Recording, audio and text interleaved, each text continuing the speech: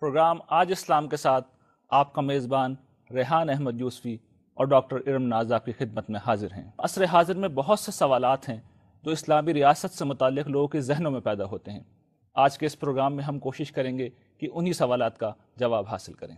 Iram, programme کے آغاز سے قبل مناسب ہوگا کہ ہم اپنے مہمانوں کا تعارف حاصل کریں۔ جی ہاں ریحان۔ ویورز ہم آپ کو اپنے سب سے پہلے شرکۂ گفتگو سے تعارف حاصل کروا دیں۔ ہمارے ساتھ اس وقت ہمارے اسٹوڈیو میں موجود ہیں جاوید احمد غامدی صاحب۔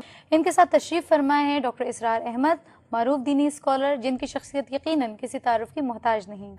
ڈاکٹر اسرار سب سے پہلے میں آپ سے اپنا سوال کرنا چاہوں گی کہ اسلامی ریاست کیا ہوتی ہے؟ نحمدہ و نصلی علی رسول الکریم۔ میں بھی یہی چاہتا تھا کہ اسی بنیادی سوال سے ہماری گفتگو کا آغاز ہو۔ اسلامی ریاست جو ہے وہ تھیو ڈیموکریسی ہے۔ ڈیموکریسی اس لیے نہیں ہے کہ ڈیموکریسی کی بنیاد ہے پاپولر ساورنٹی اور اسلامی ریاست میں ساورنٹی بلانگس ٹو گاڈ تو ڈیموکریسی سے بنیادی طور پر علیحدہ ہو گئی. تھیوکریسی تھیوکریسی سے مراد ہے ایک مذہبی طبقے کی حکومت. یہ بھی اسلام میں نہیں ہے. اسلام میں کوئی پاپائیت نہیں ہے، کوئی برابرزم نہیں ہے. تھیو ڈیموکریسی اس اعتبار سے کہ اس میں امتزاج ہے. اصول دین کے ہوں گے، اسلام کے ہوں گے، اللہ اور اس کے رسول کے احکام کو ہوں گے. لیکن اس دائرے کے اندر ایک ڈیموکریسی ہوگی، جس کو کہ قرآن کہتا ہے امر و ہم جہاں اللہ اور اس کے رسول کا کوئی حکم نہیں ہے، تو وہاں گویا کہ اللہ نے یہ لوگوں کے حوالے کر دیا ہے امر و ہم ہے۔ تو امر و ہم شورا بینہم، وہ آپس کے اندر شورا ہی کے ذریعے سے پھر امر و ہم کا تعین کریں گے۔ یہ نہیں ہوگا کہ کوئی ایک شخص کہے کہ میری رائے چلے گی، ہر حال میں میری بات مانی جائے گی۔ نہیں، بلکہ یہ کہ امر و ہم شورا بینہم۔ اب اس کے بعد میں آنا چاہتا ہوں کہ کارڈینل پرنسپلز کیا ہیں اسلامی ریاست number one sovereignty belongs to God ان الحکم اللہ للہ ساورنٹی عوام کی نہیں ہے ساورنٹی کسی شخص کی نہیں ہے ساورنٹی اللہ کی ہے لا یشرک فی حکم ہی احدہ وہ اپنی اس حکومت کے اختیار میں کسی کو شامل کرنے کو تیار نہیں ہے یہاں ساورنٹی کی بجائے ایک اصطلاح مولانا مودودی نے وضع کی اور وہ بہت صحیح تھی. وائس ریجنسی لیکن انہوں نے کہا تھا popular voice regency popular sovereignty کے مقابلے میں پاپولر وائس مجھے اس سے اختلاف ہے۔ دوسرے یہ کہ اس میں کوئی لیجسلیشن یہ طے ہوگا کوئی لیجسلیشن قرآن اور سنت کے منافی نہیں ہو سکتی۔ یہ ہر لیول پر اگر مرکزی حکومت ہے یا صوبائی حکومت ہے یا آپ نیچے ڈسٹرکٹ لیول پر چلے آئے ہیں یا کاؤنٹی لیول پر جائیں کسی level per no legislation can be done repugnant to the Quran and the Sunnah اچھا یہ دونوں باتیں پاکستان میں اچیو ہو چکی ہیں تھیوریٹیکلی تیسرے یہ کہ اب یہ سوال کہ کوئی شے کتاب و سنت کے منافی ہے یا نہیں ہے ہو ول ڈو اٹ کیا علماء کا بورڈ بنے گا؟ ہمارے شروع میں ایک علماء بورڈ بنایا گیا تھا۔ پھر سوال پیدا ہوا کہ اگر ان کی بات بائنڈنگ ہو گئی، تو پھر تو اس کا مطلب تھیوکریسی بن گئی، جیسے کہ اس وقت جو ہے ایران کے اندر ہے۔ پھر یہ کاؤنسل آف اسلامک آئیڈیالوجی بنائی گئی، اس کی بھی حیثیت کوئی بھی نہیں ہے، سوائے سفارش کے وہ کرتی رہے۔ اور اس کی سفارشوں کے امبار لگ کر رہ گئے ہیں۔ وزارت مالیات ہو وزارت قانون ہو اس کے اندر۔ لیکن ان پہ عمل کسی پر نہیں ہوا۔ تو اس کے لیے شکل یہ ہے کہ جدید ریاست کے مطابق یہ جوڈیشری کے حوالے ہونا چاہیے۔ دستور میں یہ ہے کہ نو ڈیسیشن قرآن سننا اور دستور کی جو ہے کسٹوڈین وہ ہائر جوڈیشری ہے۔ وہاں جا کر کوئی بھی شخص جو ہے وہ مکن نہ کرے گی۔ لیکن ہر شہری کو حق حاصل ہوگا کہ وہ ناک دی ڈور آف دی کورٹ ہاں کہ جناب یہ پورا قانون یا اس کا یہ حصہ شریعت کے خلاف ہے۔ Let me prove my point پھر وہاں پر جورس کاؤنسلس آ سکتے ہیں وہاں پر جو ہے علماء آ سکتے ہیں دانشور آ سکتے ہیں بحثیں ہو سکتی ہیں گفتگویں ہو سکتی ہیں تو یہ ساری چیزیں لیکن طے پھر فیصلہ اس کا بائنڈنگ ہوگا۔ ٹھیک۔ نمبر چار وہ بات جو آپ نے پوچھی تھی غیر مسلم جو ہے اسلامی ریاست میں پروٹیکٹڈ مائنورٹی ہے۔ فل سٹیزن نہیں اس لیے کہ لیجسلیشن کی بنیاد ہے قرآن اور سنت۔ وہ نہ قرآن کو مانتے نہ سنت کو مانتے۔ تو ظاہر بات ہے کہ لیجسلیٹو پریسس میں ان کو کیسے شریک کیا جائے۔ اسی طریقے سے اسلامی ریاست کی جو ٹاپ پالیسی ہوگی وہ یہ ہوگی کہ یہ ریاست ایکسپینڈ کرے اور پوری دنیا میں اسلامی ریاست قائم ہو کوئی غیر مسلم جو ہے وہ اس پالیسی کو سبسکرائب کر ہی نہیں سکتا۔ لہٰذا انہیں ہم دیں گے ایک پروٹیکٹڈ مائنورٹی کی حیثیت۔ ان کا پرسنل لا جو ہے پورا آزاد ہوگا مذہبی آزادی ہوگی ان کے جو معبد ہیں عبادت گاہیں ہیں ان کی مسجدوں سے زیادہ حفاظت کی جائے گی۔ ان کو اپنے بچوں کو تعلیم اپنے مرضی کے مطابق دینے کا حق ہوگا۔ کاروبار میں پروفیشنز میں ہر ایک میں وہ آ سکتے ہیں۔ فوج میں بھی آنا چاہیں تو آ سکتے ہیں لیکن لیجسلیچر میں نہیں ہوں گے۔ بلکہ ان کی علیحدہ باڈیز بنا دی جائیں گی وہ الیکٹ کریں اپنے نمائندے تاکہ ان کے جو پرابلمز ہوں ان کو کبھی وہ حکومت کے سامنے رکھنا چاہیں تو اور حکومت ان سے بات چیت کرنا چاہے تو ان کے لیے وہ باڈیز فراہم ہوں۔ غامدی صاحب میں چاہوں گی کہ آپ اپنے اسلامی ریاست کے نقطے چند سمرائز کر کے ہمارے اسلامی ریاست کے لیے جو اصول قرآن مجید میں بیان ہوئے ہیں وہ بنیادی طور پر پانچ ہیں۔ ان میں سے پہلا اصول یہ ہے کہ مسلمان جس طرح اپنی انفرادی زندگی میں اس کے پابند ہیں کہ وہ اللہ و رسول کے حکام کی اطاعت کریں، اسی طرح اجتماعی زندگی میں بھی اس کے پابند ہیں۔ اگر اللہ و رسول نے کوئی حکم اجتماعی زندگی کے بارے میں دیا ہے، تو اس سے نہ ان کا کوئی حکمران انحراف کر سکتا ہے، نہ ان کی کوئی پارلیمان انحراف کر سکتی ہے۔ وہ اس بات کے پابند ہیں کہ اسے سامنے سر تسلیم خم کر دیں۔ یہ اصول قرآن مجید میں ان الفاظ میں بیان ہوا ہے کہ عطی اللہ و عطی الرسول ولی الامر منکم فین تنازع تم فشین فردو اللہ رسول یعنی اللہ کی اطاعت کرو، اللہ کے پیغمبر کی اطاعت کرو، اپنے حکمرانوں کی اطاعت کرو۔ اور اگر کسی معاملے میں کوئی اختلاف ہو جائے تو معاملے کو اللہ اور اللہ کے رسول کی طرف لوٹا دو۔ دوسرا اصول یہ ہے کہ یہ ریاست کوئی استبدادی ریاست نہیں ہے، اس میں کوئی برہمن نہیں، کوئی پوپ نہیں ہے، کوئی خاندان کی اجارہ داری نہیں ہے، کوئی ذل الہی نہیں ہے۔ یہ اصل میں ایک جمہوری ریاست ہے۔ اس میں تمام معاملات امر و ہم شورہ بینہم کے اصول پر طے ہوں گے۔ اور اگر کسی جگہ کوئی اختلاف ہوگا تو فصل نزاعات کے لیے اکثریت کی رائے کو فیصلہ کن مان لیا جائے گا۔ یہ معاملہ تمام امور میں ہوگا۔ یہاں تک کہ دین کی تعبیر کے معاملے میں بھی اکثریت ہی کرائے فیصلہ کن ہوگی۔ اس کا یہ مطلب نہیں ہے کہ اکثریت سے حق و باطل کا فیصلہ ہوتا ہے۔ یہ فصل نزاعت کا ایک طریقہ ہے۔ وہ چیز قانون بن جائے گی۔ اگر اس میں کوئی غلطی ہوگی تو لوگ اختلاف کریں گے رائے عامہ کو ہموار کریں گے۔ وہ اس کو تبدیل کرا سکتے ہیں۔ تیسرا اصول یہ ہے کہ یہ ریاست عدل اجتماعی کو سوسائٹی میں قائم کرنے کی پابند ہے۔ اس کو ہر حال میں میرٹ کی بالادستی قائم کرنی ہے۔ اور تمام معاملات میں اس کو انصاف کو آخری درجے میں قائم کرنے کی جد وجہد کرنی ہے۔ قرآن مجید نے اس کو اس طرح بیان کیا ہے کہ ان اللہ یامر حکم تبد المانات علیہ وائزہ حکم تم بین الناس انتحکم بلادل ان اللہ نعمہ یا ذکم بہی۔ تو اللہ تعالیٰ نے یہ فرمایا ہے کہ اللہ تمہیں اس بات کی ہدایت کرتا ہے کہ تم تمام امانتیں حقداروں کے سپرد کرو اور جب کوئی فیصلہ کرنا ہو تو انصاف کے ساتھ فیصلہ کرو۔ چوتھا اصول یہ بیان کیا گیا ہے کہ اس ریاست کی کچھ دینی ذمہ داریاں ہیں۔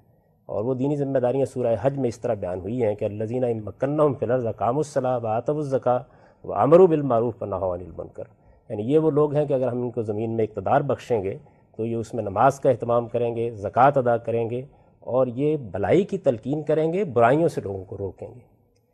اور پانچواں اور آخری اصول یہ بیان ہوا ہے کہ اگر کوئی شخص اس ریاست میں مسلمان کی حیثیت سے شریعت حاصل کرنا چاہتا ہے تو اس کے لیے تین شرائط ہیں۔ وہ اسلام قبول کرے گا وہ نماز کا اہتمام کرے گا وہ زکوٰۃ ادا کرے گا۔ اللہ تعالیٰ نے فرمایا ہے کہ یہ تین شرائط پوری کر دینے کے بعد پھر اس کے اور کسی بڑے سے بڑے مسلمان کے حقوق میں قانونی لحاظ سے کوئی فرق نہیں کیا جائے گا۔ اس میں کوئی فرق نہیں ہوگا۔ کوئی فرق نہیں کیا گیا۔ اس کو بیان کیا اللہ تعالیٰ نے فعین تابو و کام الصلاح و آتب الزکا فیخوان و فدین یعنی پھر وہ دین کے معاملے میں تمہارے برابر کے بھائی ہوں گے اخوت کا رشتہ قائم ہو جائے گا۔ ٹھیک ہے صاحب یہ اور پھر اس کے بعد یہ بات بھی بیان کر دی گئی ہے کہ یہ تین شرائط پوری کر دینے کے بعد پھر کوئی اور مطالبہ ان سے نہیں کیا جا سکتا۔ وغیرہ کا اگر کسی اگر کسی جرم کا ارتکاب انہوں نے نہیں کیا تو پھر اس کے علاوہ کوئی مطالبہ ان سے نہیں کیا جا سکتا۔ اس کو پھر اللہ تعالیٰ نے دہرا کر بیان کیا ہے کہ فعین تابو و کام الصلاح و آتب الزکا فخل یعنی اس کے بعد ان کی راہ چھوڑ دی جائے گی۔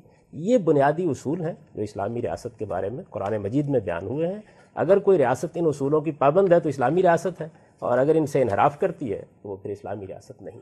جاج صاحب، آپ نے جو بات کہی ہے اس کے حوالے سے ایک سوال پیدا ہوتا ہے۔ ہمارے ملک کے اندر آج کل ایک ایشو بھی اٹھا ہوا ہے، پچھلے دنوں سے وہ چل رہا ہے مسئلہ۔ اور اس سے پہلے طالبان کی طرف سے بھی اس طرح کے کچھ معاملات ہوئے تھے، جس پہ لوگوں نے ریئیکٹ بھی کیا تھا۔ ڈاکٹر صاحب، ہم آپ سے یہ پوچھنا چاہتے ہیں کہ حکومت کی جو دین ذمہ داریاں ہیں، اس کا دائرہ کیا ہے؟ دیکھیے، آپ نے جیسے پہلے کہا تھا کہ جو کچھ فرمائیں گے جاوید غامدی صاحب اس پر بھی پھر آپ مجھے کمنٹ کرنے کا حق جی آپ بالکل اپنا۔ تو میں عرض کروں گا کہ جو پانچ اصول انہوں نے بیان کیے ہیں اختصار و اجمال کے اعتبار سے تو ان پر اتفاق ہے۔ لیکن بعض چیزوں میں شریر اختلاف ہے۔ ٹھیک۔ مطلب یہ کہ فیصلہ اگر ہوگا دین کی تعبیر کا کیونکہ کتاب و سنت فائنل ہے سپریم لا ہے۔ ان کی تعبیر ہوگی تو یہ نہیں کہ میجورٹی کا فیصلہ اس کے اندر جو ہے وہ فیصلہ کون ہوگا۔ لیکن ٹیکنیکل ایشو ہے۔ میجورٹی تو نان ٹیکنیکل لوگوں پر مشتمل ہے۔ یہ ٹیکنیکل ایشو ہے کہ آیا اس نے قرآن مجید کی صحیح تعبیر کی ہے، غلط تعبیر کی ہے۔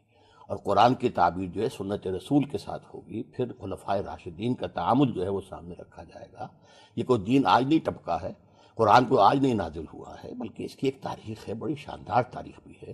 تو اس اعتبار سے وہ تعبیر جو ہے وہ ان حدود کے اندر ہوگی۔ ٹھیک ہے۔ اور اس کا فیصلہ جو ہے ظاہر بات ہے کہ میدان نہ تو پبلک کا میدان ہے وہاں تو ڈیماگاگس جو ہیں وہ لوگوں کو کھینچ کر لے جائیں گے۔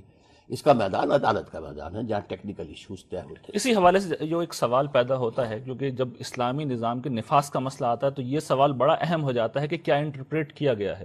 جی۔ تو میں یہ پوچھنا چاہتا ہوں کہ ایک چیز کو اگر حکومت سمجھتی ہے کہ یہ دین ہے جی۔ تو اسے کس سطح پہ جا کے نافذ کرائے گی؟ مثال کے طور پہ یہاں سے ہم شروع کرتے ہیں بات کہ خواتین کا پردہ بعض لوگوں کے نزدیک اگر لازمی ہے تو گورنمنٹ کیا اسے لازماً امپوز کرائے گی؟ دینی حکومت دینی ذمہ کرائے گی۔ امپوزمنٹ کے حوالے سے آپ کہہ رہے ہیں صحیح ہے۔ اگر طے یہی ہوتا ہے کہ یہ دین کا تقاضا ہے تو ظاہر بات ہے کہ پھر اسے نافذ کرنا ہے۔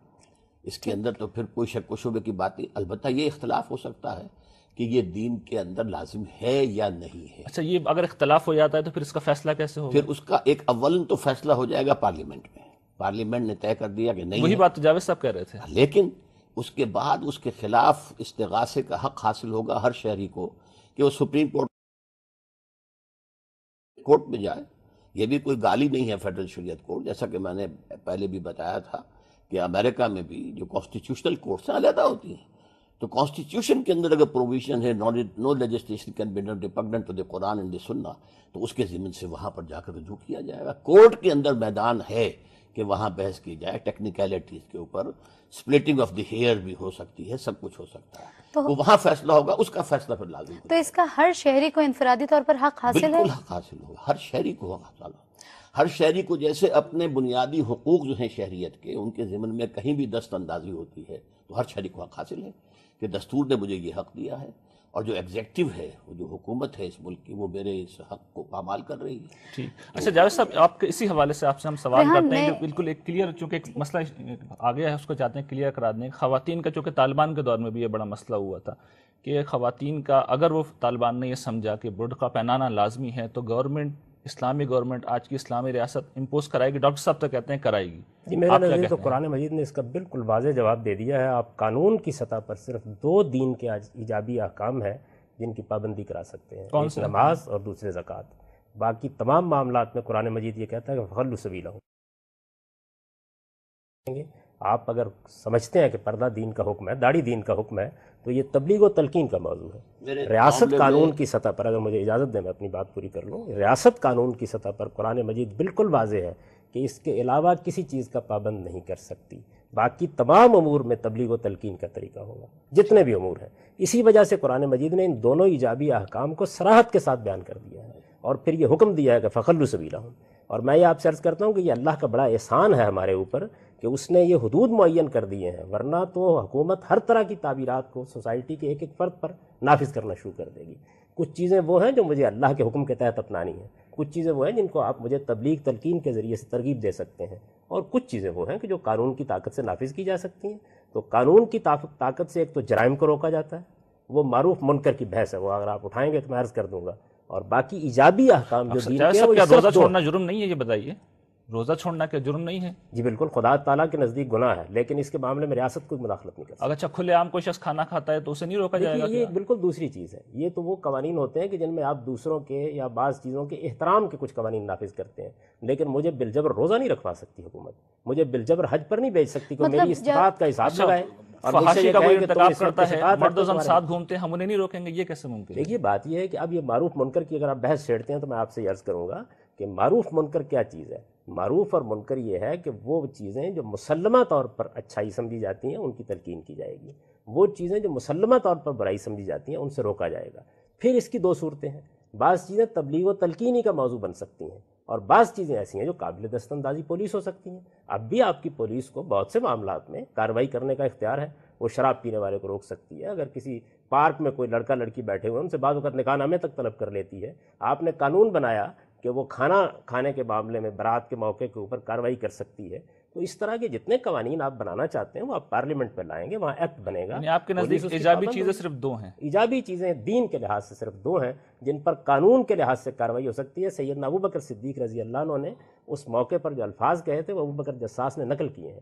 انہوں نے فرمایا تھا کہ قانون کی سطح پر یہ تین مطالبات ہیں لا اکثر دونہ ہننا و لا اصل و فوقہ ہننا میں ان سے ایک زائد مطالبہ نہیں کروں گا ان میں کبھی کمی نہیں کروں گا۔ اس میں ڈاکٹر صاحب سے ہم کی رائے لے لیتے ہیں کیونکہ جاوید صاحب نے ایک آیت کوٹ کی ہے بار بار۔ اس میں تو آپ اپنے نقطہ نظر کے حق میں کون سی ایسی چیز ہے جو قرآن و حدیث کے ذریعے سے؟ ہے بہت غلط کوٹ کی جا رہی ہے۔ اچھا۔ اس آیت کا پس منظر یہ ہے جی فرمائیے۔ کہ یہ طے کر دیا گیا تھا کہ اب فلاں مدت تک جو بھی بنی اسماعیل میں سے ایمان نہیں لائے گا وہ قتل کر دیا۔ برات من اللہ و رسول جن جن سے بھی مشرقین سے معاہدے تھے وہ ختم کیے جا رہے ہیں۔ اب کوئی معاہدہ کسی کے ساتھ نہیں رہے گا۔ جن کے ساتھ کوئی مدت کے مطابق معاہدہ ہے مدت پوری ہوگی ختم ہو جائے گا دوبارہ رینیو نہیں ہوگا۔ جن کے ساتھ بغیر مدت کا معاہدہ ہے تو وہ چار مہینے ہیں بس۔ اس کے بعد اگر بنی اسماعیل میں سے کوئی ایمان نہیں لایا قتل کر دیا۔ اس کے لیے حد مقرر کی گئی ہے کہ اس میں کون شخص مستثنا ہوگا جو تین شرطیں پوری کرے کہ نماز اور روزہ زکوٰۃ اور کلمہ شہادت ایمان لائے۔ اس پر اس کے بعد ان کو چھوڑ دیا۔ خلو سبیلہ انہیں پکڑو گے نہیں۔ ورنہ اس سے پہلے کیا ہے؟ ان کا محاصرہ کرو ان کے لیے تم رسد گاہوں میں بیٹھو اور ان کو مارو جہاں پاؤ۔ وقت الوہم ہے سکتے تو انہیں قتل کرو جہاں بھی پاؤ۔ اچھا یہ تو ان کی بات پر تنقید ہو گئی۔ آپ پازیٹیولی کس طرح پازیٹیولی نمبر دو بات یہ ہے کہ اسلام کے اندر امر بالمعروف نہیں المنکر جو ہے حکومت کا کام نافذ کرنا بھی ہے۔ یہ تلقین تو مولویوں کا کام ہے علماء کا کام ہے۔ اسلامی حکومت نہیں ہے تو علماء کریں گے صوفیاء کریں گے اور لوگ جو ہیں مسلحین کریں گے۔ حکومت مطلب حکم دیا جائے گا اس بات کہہ کا۔ کہ سوائے تین کے کسی چیز پر لازم نہیں کیا جائے گا کیا جو جو قانون وراثت ہے وہ نافذ نہیں کیا جائے گا؟ اگر تقسیم نہیں ہو رہی ہے قانون وراثت کے مطابق تو پکڑا نہیں جائے گا ان کو۔ شریعت کے احکام جتنے بھی ہیں شریعت کے جتنے احکام ہیں اور وہ شریعت کے صرف لفظی طور پر احکام نہیں شریعت کے in the spirit in the letter and spirit شریعت قرآن اور سنت ان دونوں یہ بڑا اچھا سوال ڈاکٹر صاحب نے ریز کیا ہے کہ قانون وراثت کے نافذ نہیں کرایا جائے گا ہم تو کہتے یہ ہیں یقیناً کرانا بہت۔ اچھا سوال ہے اور میں اس کا جواب عرض کرتا ہوں۔ دیکھیے بات یہ ہے کہ قانون وراثت کا تعلق میرے پرسنل قانون سے ہے۔ میں اس پر پابندی کے ساتھ عمل کرتا ہوں۔ اگر میں اس کی خلاف ورزی کرتا ہوں تو کچھ لوگوں کے حقوق تلف ہوتے ہیں۔ یہ حق تلفی کا مقدمہ ہے جو جاتا ہے اور جرم کی سزا میں عدالت پھر اس کو نافذ کرتی ہے۔ دیکھیے ایک چیز ہے کسی معاملے میں کسی کا حق تلف ہو جانا۔ اور ایک چیز ہے وہ معاملات جو میری ذات سے متعلق ہیں ان کے بارے میں حکومت کا مداخلت کرنا یہ دو الگ الگ باتیں مطلب ہیں۔ میں کہتا ہوں کہ حکومت مجھے پابند نہیں کر سکتی کوئی اسلامی حکومت بھی کہ تم روزانہ ایک روح افزا گلاس پیا کرو۔ معقول بات ہے نا نہیں پابند کر سکتی۔ جن ایجابی احکام میں نے بار بار یہ لفظ استعمال کیا ہے جب کوئی کسی قانون کی خلاف ورزی کرتا ہے اور اس کے نتیجے میں دوسرے کا حق تلف ہو جاتا ہے وراثت میں کچھ حقوق قائم ہوتے ہیں۔ تب مقدمہ قائم ہوتا ہے ورنہ عام حالات میں یہ کوئی حکومت کے نافذ کرنے کا کام نہیں ہے۔ نہیں مقدمہ قائم کرنے جائیداد- کا ہے معاملہ۔ اگر فرض کیجیے کہ کوئی ایسے احکام ہیں کہ جن کا تعلق مفاد عامہ سے ہے کسی ایک شخص کا جو ہے کوئی حق تلف نہیں ہوا اس کو اس کوئی مثال اس کو سو موٹر لے گے لوگ تو جو بھی نہیں جو بات جاوید صاحب کی بات مجھے سمجھ میں آئی ہے وہ یہ کہ مثال کے طور پر گورنمنٹ کسی کو سچ بولنے پر مجبور نہیں کر سکتی کیونکہ یہ تو کہلوایا نہیں جا سکتا یعنی میں جھوٹ بولنے پر سزا تو دے سکتی ہے۔ یہ یہ وہی چیز ہے جو کہہ رہے ہیں کہ ایجابی قوانین یعنی جو میرے خیال سے اگر میں ہو جی سکتا ہے نے غلط بار بار یہ لفظ اگر مجھے اجازت دیں تو استعمال کیا ہے کہ دیکھیے ایک ہے کہ ایک شخص نے کسی جرم کا ارتکاب کیا ہے۔ جب وہ جرم کا ارتکاب کرتا ہے تو وہ اپنے بنیادی حقوق سے محروم ہو جاتا ہے۔ اس وقت اس کو جیل میں بھی ڈالا جاتا ہے اس کی داروگیر بھی کی جاتی ہے۔ اور ایک چیز یہ ہے کہ آپ ایجابی طور پر کس چیز کا پابند کرتے ہیں۔ تو ایجابی طور پر اللہ تعالیٰ نے واضح کر دیا ہے کہ دین کے یہ دو احکام ہیں جن میں اسٹیٹ مداخلت کر سکتی ہے وہ بھی کر سکتی ہے یہ بیان کیا ہے۔ باقی جتنے امور ہیں ان میں جرم ہوگا تو ٹھیک ہے کارروائی ہوگی۔ یہ آپ میرا مال کھا لیتے ہیں۔ جو یہ بھی پورا نہیں کریں گے وہ قتل کیے جائیں۔ گے جو نہیں پورا کریں گے قتل کیے جائیں۔ گے یہ ہے اصل پس منظر جو ہے پہلی چھ آیات جو ہیں سورہ جی میں اس پر بھی اگر اجازت ہو تو میں اس پہ تبصرہ کر دوں۔ دیکھیے بات یہ ہے کہ جس وقت اللہ تعالیٰ نے ان کو آزادی دی اور یہ کہا کہ تم اس ریاست کے اندر مسلمان کے حقوق تب حاصل کر سکتے ہو ان کے لیے موت کی سزا تھی۔ یہ ڈاکٹر نے بالکل درست فرمایا۔ لیکن بچ اس صورت میں سکتے یہ تین شرائط پوری کر دو۔ جب ان کے لیے یہ تین ہے تو کسی اور کے لیے سے زائد کیسے ہو سکتی قانون کے لحاظ سے اصل میں یہی تین چیزیں ہیں۔ آپ نے اسلام قبول کیا آپ مسلمان ہیں۔ آپ نماز پڑھتے ہیں ہمیں کوئی حق نہیں کہ ہم آپ کے بارے میں کوئی دوسری رائے قائم کریں۔ آپ زکوٰۃ دیتے ہیں حکومت اس کو آپ سے بالجبر لے سکتی ہے۔ یہی اصول ہے جس کو سیدنا ابو بکر صدیق نے بیان کیا تھا کہ لا اصل و فوقہ ہننا والا اکثر و یہ ابو بکر صدیق کی جو بات کوٹ کر رہے ہیں آپ اس کے بارے میں کیا کہتے عرض ہیں؟ کر رہا ہوں اسی پر کہ چونکہ حضرت عمر نے کہا تھا ان مانعین زکوٰۃ کے ساتھ آپ جہاد نہ کیجیے۔ تو حضور نے حضرت ابو بکر رضی اللہ تعالیٰ نے فرمایا کہ اللہ تعالیٰ نے راستہ چھوڑنے کے لیے یہ تین شرطیں ہیں۔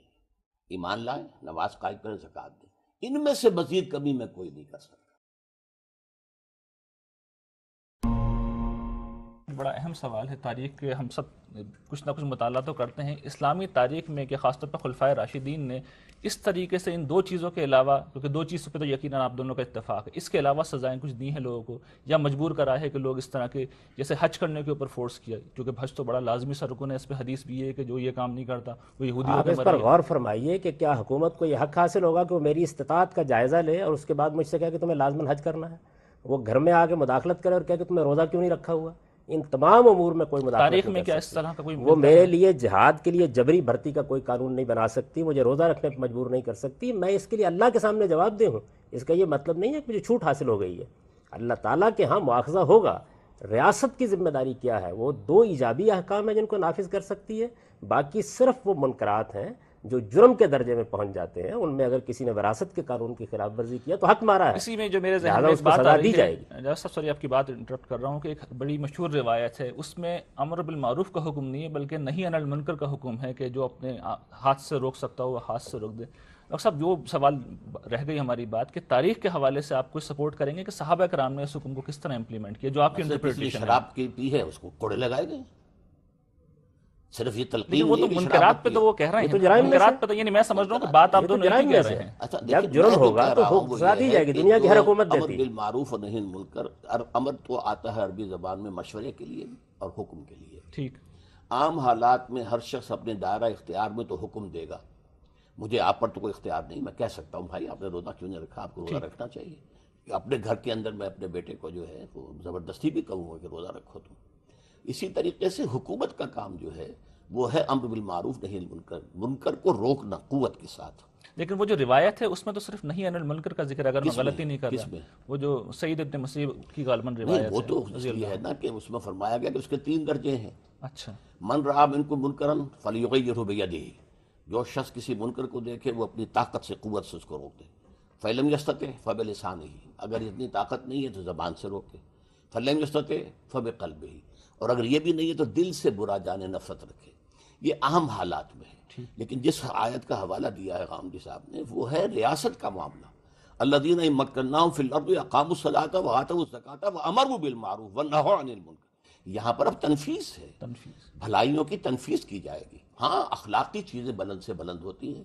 اب یہ کہ زکوٰۃ تو آپ سے لازم لے لی جائے گی لیکن یہ کہ اس کے علاوہ آپ کو تلقین ہے۔ ان نفل مال الحقن سوت زکوٰۃ یہ بات بہت غلط کہہ رہے ہیں کہ سوائے زکوٰۃ کے کوئی شے ہے ہی نہیں اسلام میں۔ ذرائب اور ٹیکس، امپورٹ، ایکسپورٹ کے ٹیکس جو ہیں خلافت راستہ میں موجود تھے۔ زکوٰۃ تو ایک خاص کام کے لیے ہے، سوشل جسٹس کے لیے اور سوشل سیکیورٹی کے لیے کہ غریب اور امیر کا جو فرق ہے، اس کو گیپ کیا جائے۔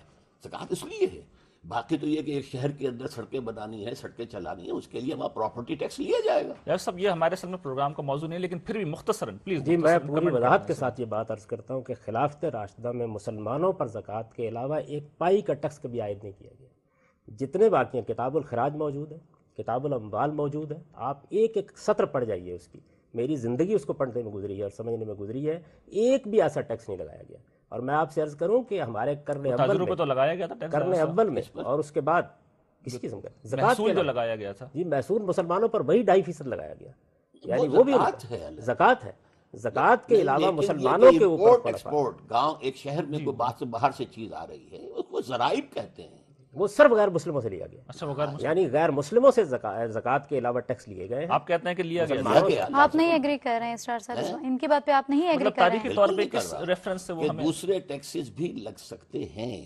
یہاں تک کہ اگر کسی وقت حکومت یہ محسوس کرے فقہ کا اتفاق ہے کہ جو ہمارے غرباء ہیں ان کی بنیادی ضروریات ہم صرف زکوٰۃ کی رقم سے پوری نہیں کر سکتے تو زبردستی زکوٰۃ سے زائد بھی وصول کیا لی جا سکتی ہے۔ ڈیفینیٹلی غلط نہیں ہوگا لیکن اس میں جو ہے دور رسالت و خلافت راشدہ ہمارے لیے بڑا آئیڈیل ہے تو اس کے حوالے سے آپ فرمائیں وہاں کہاں پہ اس میں وہاں یہ کہا اس لیے کہ ہو رہا تھا معاملہ ٹھیک۔ زکوٰۃ سے ضروریات پوری ہو رہی تھی۔ اور چونکہ ساتھ ہی اخلاقی تعلیم یہ دی گئی تھی کہ زکوٰۃ و صدقات مت لو محنت کرو کوشش کرو جد و جہد کرو۔ یہ لوگوں کا میل کچیل ہے یہ زکوٰۃ و صدقات۔ لہذا لوگ جو ہیں وہ بالکل آخری حد کے اندر جو ہے وہ مانگتے تھے ورنہ نہیں مانگتے تھے۔ تو چونکہ زکوٰۃ سے وہ ساری ضروریات پوری ہو رہی تھی تو کوئی اور ٹیکس لگانے کی ضرورت نہیں ہوئی۔ لیکن مثلاً کاروبار ہے منڈی ہے منڈی چل رہی ہے سامان آ رہا ہے جا رہا ہے اس کے اوپر ذرائع ایکسپورٹ امپورٹ یہ تھے خلافت راشدہ۔ میں جی بہرحال میں یہ عرض کرتا ہوں آپ کا نقطہ نظر یہ کہ نہیں کوئی ایک بھی نہیں۔ میں کہتا ہوں کہ کسی جگہ پر بلکہ حال یہ ہے کہ ہمارے جو قدیم فقہا ہیں وہ اس معاملے میں بحث کرتے ہیں۔ وہ ڈاکٹر صاحب نے بالکل ٹھیک کہا کہ کسی ایمرجنسی کی حالت میں یہ اختیار حاصل ہے یا نہیں۔ اس میں ابن حضم کا موقف ہے جو انہوں نے بیان کیا۔ اب آئے ہیں اس پر۔ یعنی اس سے پہلے آپ کہ کسی ایمرجنسی کی حالت میں اس کا حق حاصل ہے یا نہیں۔ ایمرجنسی کیا؟ کسی غریب کا حق دلوانے کے لیے۔ اور وہ بھی ابن حضم اس کے قائل ہے باقی لوگ اس معاملے میں بالکل واضح ہے بلکہ پہلے دور میں تو یہ رہا ہے کہ اگر کوئی ٹیکس عائد کرنے والی حکومت ہے تو وہ غیر اسلامی حکومت ہے۔ اللہ تعالیٰ نے اس کی حدود مقرر کر دیے ہیں۔ یہ ذرائع وشور جن کا ذکر آتا ہے آپ پڑھ پڑھ لیجیے کتاب الخراج ساری کی ساری اس میں امام ابو یوسف نے سب کو جمع کر دیا ہے۔ کسی مسلمان کے بارے میں کوئی تصور نہیں اس بات کا۔ اچھا۔ خیر یہ ایک الگ بحث ہے۔ میرے نزدیک معاملات میں اختلاف اتفاق ہو سکتا ہے۔ میں صرف ایک واقعے کی طرف اشارہ کر دوں۔ آپ کو معلوم ہے کہ سید عمر بن عبدالعزیز کے زمانے میں یہ مسئلہ پیش آ گیا کہ بعض لوگ مسلمان ہو جاتے تھے اور حکومت کے خزانے کو بھرنے کے لیے بعض عمال ان پر جزیہ عائد کیے رکھتے تھے۔ اب سوال یہ ہے کہ اگر کوئی زائد ٹیکس لگانے کی اجازت موجود ہے تو پھر تو مسلمانوں پر اس کے بعد لگایا جا سکتا تھا۔ انہوں نے اس کے بعد اس کو بنا کیا اور یہ کہا کہ رسول اللہ علیہ وسلم تحصیلدار بنا کر نہیں بھیجے گئے تھے، خدا کے دائی بنا کر بھیجے گئے تھے۔ اور جزیے کو ختم کرا دیا۔ کسی مسلمان کے اوپر اس کے بعد یہ سوال نہیں کہتے ظاہر بات ہے مسلمان پر جزیہ نہیں ہے مسلمان ہو گیا تو جزیہ ختم۔ تو حکومت کو ضرورت نہیں ہے پھر۔ وہ تو کرتی کہ وہ جزیہ ان سے لینا بند کر دیتی کوئی اور ٹیکس عائد کر دے۔ مسلمانوں سے لے کے اس پہ میرا خیال یہ ہے کہ آپ دونوں حضرات کا نقطہ نظر سامنے آ میں گیا۔ آپ کے سامنے ان فی المال حسن سے بس زکوٰۃ کے بارے میں میں یہ عرض کر دوں کہ اس کا تعلق انفرادی زندگی سے ہے۔ اس کا مطلب یہ ہے کہ تم زکوٰۃ ادا کرنے دینے کے بعد یہ خیال نہ کرو کہ اللہ کے حقوق ختم ہو گئے ہیں رشتہ داروں کے اعزاء کے اقربا کے انفاق کے معاملے میں حقوق اسی طرح تمہارے اوپر موجود ہے دیکھیے ایک مثال ایک ہے ریاست کا حق اور ایک ہے فرد کے وہ اوپر جرم بن جاتا ایک ہے۔ ہندو ایک ہندو غیر مسلم مسلمان ہو جائے تو جزیہ ختم۔ پھر اس پر زکوٰۃ لاگو ہو جائے گی۔ ٹھیک۔ لیکن اس کی زمین جو اس کے پاس چھوڑ دی گئی تھی وہ خراجی رہے گی۔ وہ چاہے اسلام لے آئے اس کی زمین جو ہے اشری نہیں ہوگی ملکیت ہی نہیں ہوگی۔ وہ حکومت کی جو ہے ملکیت رہے گی حکومت اس میں سے خراج دے گی۔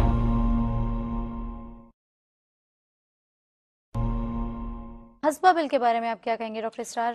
میرے نزدیک یہ ہے کہ اس کے اندر کوئی شے ایسی نہیں ہے کہ جو قباحت والی ہو۔ وہی جو امر بالمعروف نہیں منکر کا ادارہ جو ہے اول تو نارمل ادارہ ہمارے ہاں عدالتیں ہیں پولیس ہے یہ ہے وہ ہے معاملات کا۔ اس کا کانٹینٹ کیا ہے؟ کیا اس میں بیان کیا گیا ہے؟ اس میں یہ ہے کہ ایک ایڈیشنل ادارہ قائم کیا گیا ہے جیسے ہمارے ہاں محتسب کا ادارہ ہے مرکزی محتسب ہے۔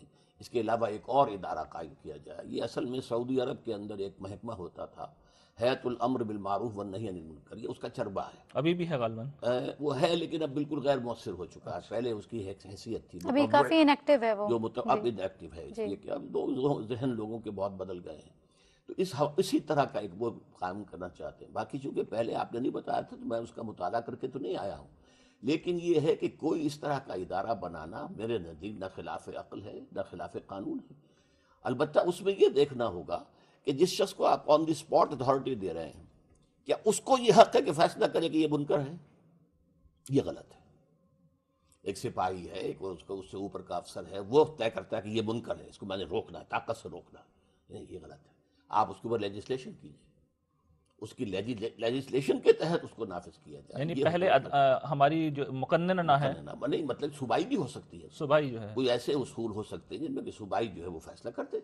اس میں سب جو جو بھی پروونشل اٹانومی ہے اس کو مطلب استعمال کرتے فرض کیجیے کہ یہ تو خیر اعلان برات کرتے ہیں ہم طالبان نہیں ہیں لیکن ایم ایم اے اگر فیصلہ کرتی ہے کہ کسی عورت کا کھلے چہرے کے ساتھ بازار میں آنا سڑک پر آنا جائز نہیں ہے قانون بنا دیں۔ سعودی عرب میں قانون سعودی عرب میں جی ہاں۔ وہاں اتنا بڑا ملک ہے دنیا کا اور اس وقت بہت متمدن بھی ہو چکا ہے بہت اونچا جا چکا ہے تعلیم کا لیول بہت اونچا ہے ہم سے تو ہزار گنا بہتر ہے۔ وہاں پر وہ قانون ابھی تک چل رہا ہے۔ گھر کے اندر چاہے آپ نکریں پہنے انہیں کوئی اعتراض نہیں ہے گھروں کے اندر آپ لباس پہنے۔ اگر آپ کے لباس ساتر ہو نہ ہو کوئی ہمیں لیکن گورنمنٹ باہر جو ہے باہر جا آؤ گے تو وہ ابایا لینی ہوگی وہ جاوید صاحب یہ حزبہ بل کے حوالے سے آپ کیا فرماتے ہیں؟ کیا ہے یہ؟ کیا اس کی حیثیت جی میں پھر بڑے ادب کے ساتھ اس میں اختلاف کی جسارت کر رہا ہوں۔ حزبہ بل ایک بالکل بے ضرورت بل ہے۔ اس کی وجہ یہ دیکھیے امر بالمعروف اور نہیں آپ خود ہی تو کہہ رہے ہیں کہ وہ لازمی ہے جی میں عرض کر رہا ہوں امر بالمعروف اور نہیں المنکر دین کے اندر موجود ہے۔ اس میں کوئی شک نہیں ہے۔ اور میں آپ سے عرض کرتا ہوں کہ جس مفہوم میں قرآن نے یہ استعمال کیا دنیا کی ساری حکومتیں یہ کام کرتی ہیں۔ وہ اچھی باتوں کی تلقین بھی کرتی ہیں اپنے لحاظ سے اور بری باتوں سے روکتی بھی ہیں۔ آپ رشوت سے۔ روکتی ہیں آپ ملاوٹ سے روکتے ہیں نافذ بھی کرتی ہیں۔ منکرات کے اور معاملے میں اسلامی حکومتوں میں فرق کیا ہو گیا؟ جی میں عرض کر رہا ہوں دیکھیے بات یہ ہے کہ دنیا کے اندر کچھ مسلمات ہر جگہ ہوتے ہیں۔ اب جمہوریت ساری دنیا نے اپنا لی ہے تو آپ کہیں گے کہ ہمارے یہاں نہیں ہونی چاہیے۔ دنیا بھر میں یہ بات مسلمہ طور پر مانی جاتی ہے کہ جو برائیاں ہیں جرم کے درجے میں پہنچ جاتی ہیں وہ منکرات ہیں جن کو قوت سے مٹایا جاتا ہے، رشوت کو مٹایا جائے گا، ملاوٹ کو ختم کیا جائے گا، بددیانتی کے خلاف آپ اقدام کریں گے۔ اس وجہ سے یہ میں نہیں عرض کر رہا کہ اس میں حکومت کو کوئی اختیار منکرات کے خلاف نہیں ہے۔ دیکھیے بات یہ ہے کہ کچھ چیزیں ایسی ہیں کہ جن میں تبلیغ و تلقین کا طریقہ ہی صحیح ہوگا۔ ان کے لیے قرآن مجید نے جو حکم دیا ہے، نبی صلی اللہ علیہ وسلم نے اس کے مطابق جمعہ کے ممبر کو عمرہ کے لیے خاص کر دیا ہے۔ ارباب حل وقت کے لیے خاص کر دیا ہے۔ وہ آئیں وہاں پہ اور تبلیغ و تلقین کریں۔ سرحد کی حکومت کو سب سے پہلا کام تو یہ کرنا چاہیے تھا کہ وہ خلافت راشدہ کی اس روایت کو بحال کرتی کہ جمعہ کے ممبر کو ان مولویوں سے چھینا جاتا اور ریاست کو لوٹایا جاتا۔ حکمران وہاں جاتے اور وہاں جا کے تبلیغ تلقین کرتے۔ اس کے بعد آپ کی پولیس موجود ہے۔ پولیس میں بہت سی چیزیں ہیں جو قابل دست اندازی پولیس ہے۔ آپ پولیس ایکٹ کو پڑھیے۔ اس میں بے شمار چیزیں جن میں پولیس اقدام کرتی ہے۔ آپ محسوس کرتے تھے، ڈاکٹر صاحب نے بالکل صحیح فرمایا آپ محسوس کرتے تھے کچھ منکرات ایسے ہیں جن کو پولیس کی جورسڈکشن میں آنا چاہیے۔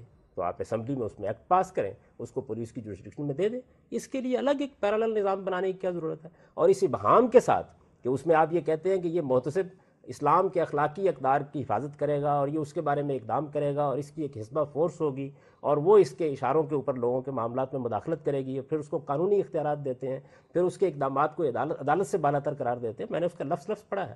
وہ ایک بالکل بےمانی بل ہے کوئی اس کی حقیقت یعنی آپ حقیقت کے لحاظ یعنی وہ سارے کام جو وہ کرنا چاہتے ہیں۔ اچھا جی۔ پھر اس میں اتنی ڈپلیکیشن ہے یعنی رشوت کے انسداد کا ایک پورا ادارہ موجود ہے ہمارے۔ یہاں اچھا اچھا کے بارے میں بھی بہت اس معاملے میں لوگوں غلط فہمی ہے۔ دیکھیے محتسب کے ادارے کا جو اصل کام ہے وہ کیا ہے؟ وہ یہ ہے کہ جو قوانین بن گئے ہیں ان کے مطابق جو محکمے کام کر رہے ہیں ان میں اگر کوئی بدعنوانی یا اس قانون کی خلاف ورزی ہوتی ہے تو آپ محتسب کے پاس جاتے ہیں۔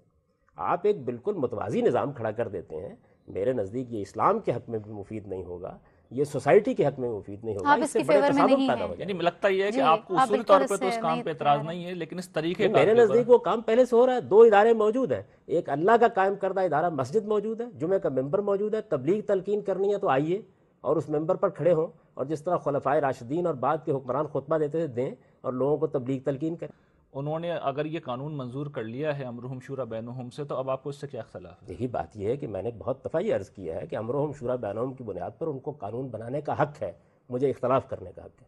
میں یہ عرض کر رہا ہوں کہ یہ قانون غلط قانون ہے۔ اس قانون سے صرف انارکی پیدا ہوگی۔ اس سے کوئی فائدہ حاصل نہیں اچھا وہ اگر ایک قانون اور منظور کر لیتے ہیں کہ خواتین لازمن برقع پہنے اور مرد لازمن داڑیاں رکھیں تو آپ کے اصول کی روح سے تو وہ یہ کرنے میں بھی حق بجانے ہوئے دیکھیے بات یہ ہے کہ میں ان کے اس حق میں تو کوئی مداخلت نہیں کر سکتا لیکن مجھے اختلاف کا حق تو ہے میں یہ کہوں گا کہ یہ وہ کام ہے کہ جو آپ کو تبلیغ تلقین سے کرنا چاہیے اس میں آپ قانون نہیں بنا سکتے میرا نقطہ نظر یہ ہے قانون بنا سکتے ہیں اس میں بالکل بنا جی ڈاکٹر صاحب کا سکتے نقطہ نظر یہ ہے کہ وہ داڑھی رکھوانے کے لیے آپ قانون کہہ رہے ہیں بنا دیں۔ زبردستی کچھ نہیں کروایا جا۔ سکتا صرف دو۔ تلقین ہو ہمیں سکتی ہے دیکھنا یہ ہوگا کہ آیا داڑھی سنت ہے آیا سنت موقدہ ہے بہت سے حضرات کے نزدیک واجب ہے۔ اور یہ وہ شے ہے کہ جو گویا کہ انسان کے چہرے پر ظاہر ہوتی ہے کہ اس شخص کا کس سے تعلق ہے کس کلچر سے متعلق ڈاکٹر صاحب بعض لوگوں کے تو داڑھی آتی نہیں ہے۔ اور نہ آئے اب تو وہ وہ تو پولیس والے پکڑ لیں گے exceptions راستے میں بیچارہ میڈیکل۔ سرٹیفکیٹ لے کے گھومے۔ ایکسیپشنز پر بات نہ کیجیے لیکن سوال یہ ہے کہ مجموعی طور ہیں، مجموعی طور جی۔ پر یہ داڑھی ہے اور یہ سنت موقدہ سب کے نزدیک ہے۔ بلکہ بعض علماء جو ہے اس سے واجب کہتے ہیں۔ تو اس میں حرج کیا ہے؟ داڑھی بونڈی جا سکتی تو رکھی بھی نہیں جا سکتی اور داڑھی رکھنے پہ اعتراض نہیں وہ یہ کہ یہ جرم بن جائے گا نہ رکھنا۔ ہاں، اگر پولیس مارے گی اس اگر اگر یہ پارلیمنٹ فیصلہ کرتی ہے تو ہو جائے گا۔ وہ تو خود مانتے ہیں۔ یا تو یہ کہ یہ منکر ہے یہ شریعت کے خلاف ہے۔ بھئی شریعت کے خلاف تو نہیں ہے۔ آپ خود مانتے ہیں کہ شریعت کے دائرے کے اندر اندر قانون سازی ہو سکتی ہے۔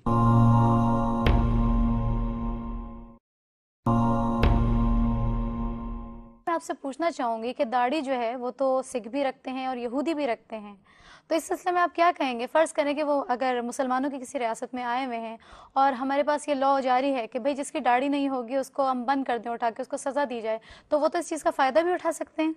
اگر یہ لو آ جائے حزبہ بل جیسے کہ آپ کہہ رہے ہیں اس میں یہ بھی اگر آ جائے کہ بھئی اگر کسی شخص کی داڑھی نہیں ہے جی۔ تو وہ سزا کے لیے جو ہے مطلب اس کو سزا آرام سے دی جا سکتی ہے۔ تو اس سلسلے میں فرض کریں کہ یہاں پہ کوئی وزٹرز آئے ہوئے ہیں سکھ آئے ہوئے ہیں یہودی آئے ہوئے ہیں وہ داڑھی ہے ان کی۔ ان کے اوپر یہ لازم نہیں آئے جی اچھا داڑھی ہے پھر۔ جی۔ تو پھر آپ اس کو کلیئر کیجیے نا کہ داڑھی تو وہ لوگ بھی رکھتے ہیں۔ کوئی حرج نہیں ہے۔ کھانا وہ بھی کھاتے ہیں ہم بھی کھاتے ہیں۔ بول و براز ان کے ساتھ بھی ہمارے ساتھ بھی۔ اس میں کیا فرق واقع ہوا؟